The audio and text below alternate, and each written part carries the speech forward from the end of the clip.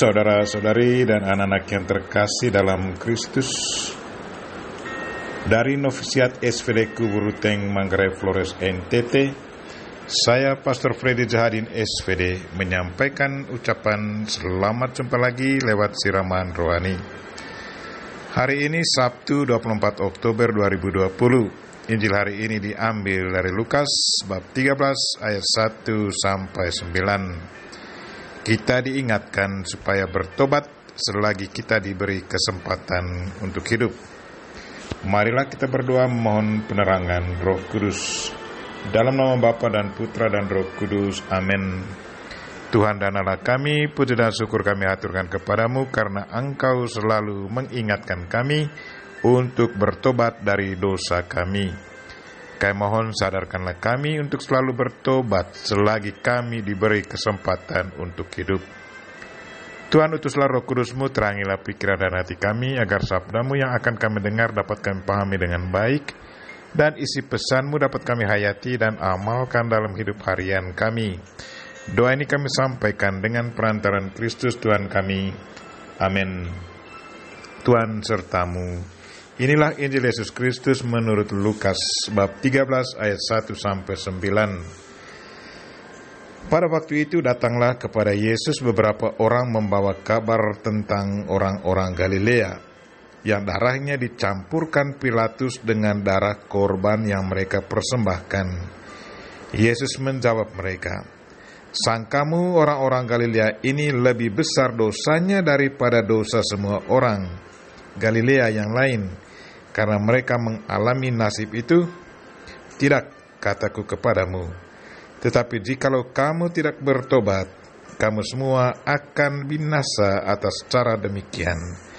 Atau sangkamu ke-18 orang yang mati ditimpa menara dekat Siloam lebih besar kesalahannya daripada kesalahan semua orang lain yang diam di Yerusalem?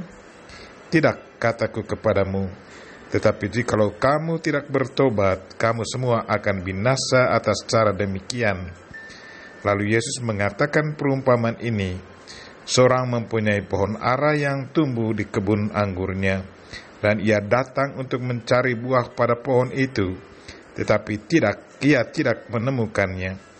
Lalu ia berkata kepada pengurus kebun anggur itu, Sudah tiga tahun aku datang mencari buah pada pohon ara ini, dan aku tidak menemukannya. Tebanglah pohon ini. Untuk apa ya hidup di tanah ini dengan percuma? Jawab orang itu, Tuhan biarkanlah dia tumbuh tahun ini lagi. Aku akan mencangkul tanah sekelilingnya dan memberi pupuk kepadanya. Mungkin tahun depan ia berbuah. Jika tidak, tebanglah dia. Demikianlah Injil Tuhan, terpujilah Kristus. Saudara-saudari dan anak-anak yang terkasih dalam Kristus, tema renungan kita hari ini ialah Bertobatlah selagi kita diberi kesempatan untuk hidup. Hari ini Yesus mengundang kita untuk bertobat. Cerita perumpamaan tentang pohon ara yang tidak menghasilkan buah adalah satu cerita yang menarik yang harus kita renungkan.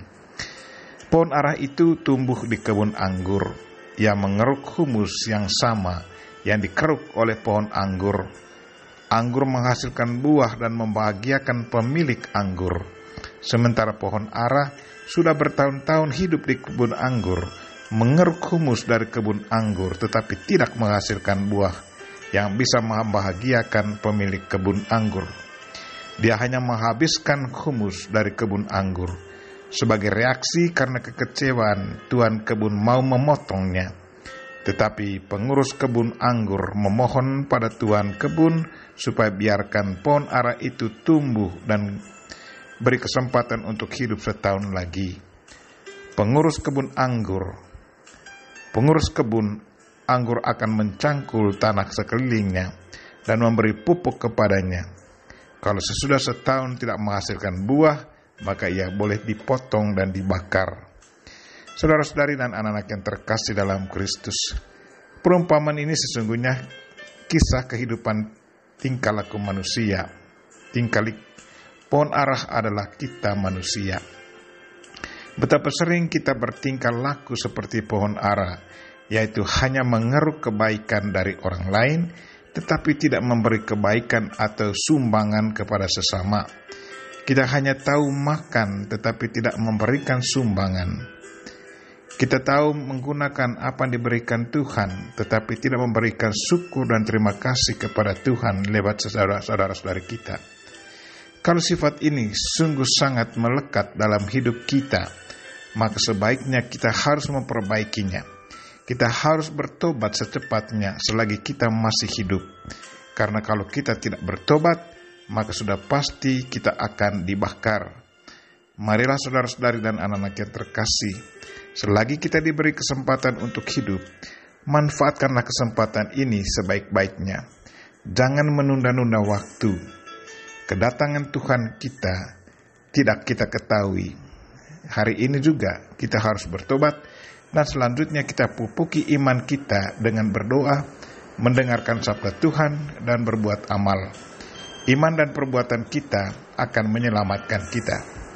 Kita berdoa semoga Tuhan selalu menyadarkan kita di saat kita jatuh dalam dosa untuk kembali bertobat agar hidup kita bisa menghasilkan buah.